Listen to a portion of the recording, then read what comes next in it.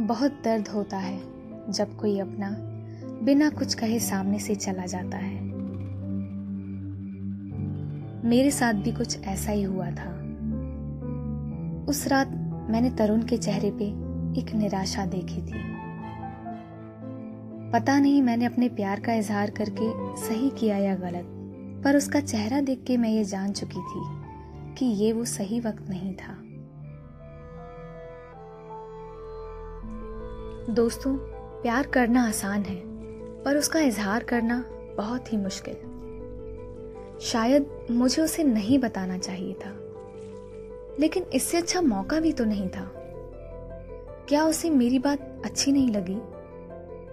पता नहीं, मैं बिल्कुल एक असमंजस में थी कि मैंने सही किया या गलत। दूसरे दिन ऑफ़िस में भी मैं यही सोच रही थी कि जब तरुण ऑफ़िस में आएगा तो पता नहीं मैं उसका सामना कैसे करूँगी। उससे नज़रें मिला पाऊँगी या नहीं? कुछ बोल पाऊँगी या नहीं? यही सब मेरे दिमाग में चल रहा था। तभी तरुण मेरी डेस्क पे आया। मैंने उसकी तरफ़ देखा और वो कुछ बोले, उससे पहले मैंने ही बोल दिया सॉरी वो कुछ नहीं बोला। शायद उसके पास कोई और ही कहानी थी।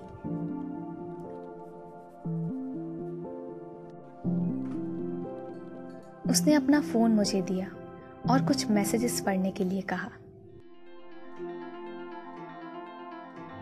तरुण और प्रिया की मुलाकात ऑनलाइन चैटिंग पे हुई थी और इत्तेफाक से शुरू हुआ रिश्ता इतना गहरा हो गया कि प्रिया ने तरुण से नंबर मांगा और रात को 10 बजे कॉल करने का वादा किया।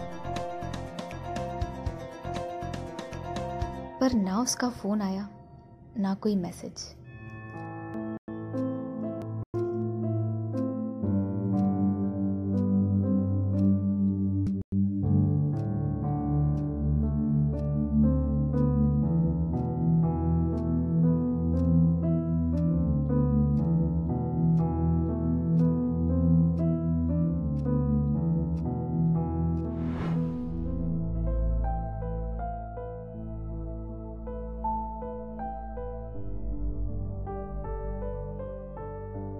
तरुण की आँखों में मुझे मेरे सारे सवालों के जवाब दिख रहे थे। मेरा प्यार शुरू होने से पहले ही खत्म हो गया था।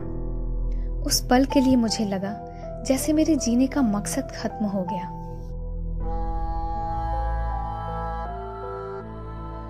अब मेरे सामने एक नई चुनौती थी, जिस इंसान के सोचे बगैर मेरा एक पल नहीं कटता था। क्या मैं उसे इतनी आसानी से भूल जाऊँ? कमेंट में बताएँ कि मुझे क्या करना चाहिए।